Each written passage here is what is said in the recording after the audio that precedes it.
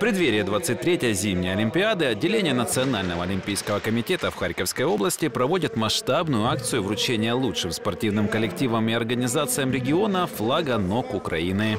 Накануне третьего тура Приднепровской хоккейной лиги один из главных символов олимпийского движения получила городская с Дюшор, которая успешно работает отделение хоккея с шайбой, фигурного катания и шарт-трека.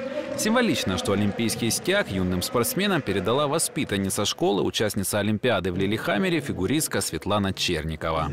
Приняли это решение, вот пришло время, мы изготовили эти флаги и вручаем им спортивным организациям. Не просто спортивным организациям, а в первых рядах идут те организации, которые внесли самый весомый вклад в развитие олимпийского движения. Надо прежде всего любить не себя в спорте, а спорт в себе. Вот именно мы уверены в том, что этот олимпийский флаг будет новым подспорьем, для достижения новых спортивных достижений воспитанниками школы. И воспитанники школы будут прославлять наш Харьковский регион на чемпионатах мира, Европы, Олимпийских играх. Очень приятно, что Олимпийские игры, которые ну, будут в январе месяце начинаться, в феврале следующего года, что наши есть наши кандидаты, которые планируются попасть на Олимпийские игры. Поэтому надеемся, что, может быть, этот флаг даст нам толчок.